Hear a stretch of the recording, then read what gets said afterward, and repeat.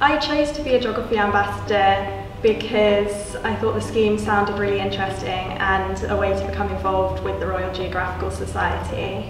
A lot of students at school don't necessarily know about how broad the subject is. A lot of what they've learned is set around the curriculum. And going into the schools, a lot of the sessions I've done have been around showing them how broad the subject is and linking it to geography in the news and getting them to think about how their daily life can relate to geography. Through going into the school, I think a lot of the students have learned maybe more about where geography can take them after the compulsory stages and also all the options that are available with the subject. I think being a geography ambassador has helped improve a number of different skills which are then useful within my degree.